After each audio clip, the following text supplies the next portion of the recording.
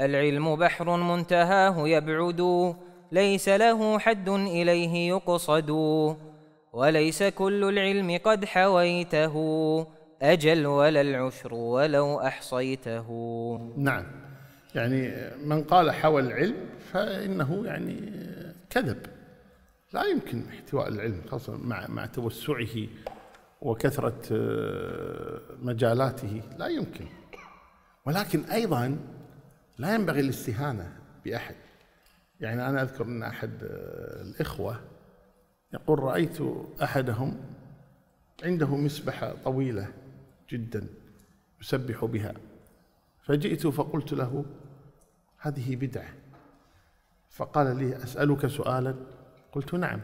قال هل هل حويت العلم؟ قلت له لا. قال هل حويت نصفه؟ يقول قلت في نفسي أين سيصل بي هذا؟ قلت نعم حويت نصفه. قال هذا من النصف الذي لم تحويه. بغض النظر يعني عن صح الصواب لكن القصد أن الإنسان لا يمكن أن يحوي العلم. لا يمكن أن يحوي العلم. فإذا حويت معشاره فأنت الموفق المسدد.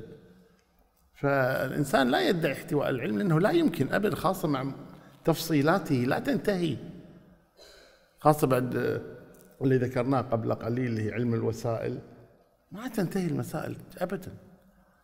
فالإنسان يتقي الله تبارك ويحصل من العلم ما يستفيد منه. نعم.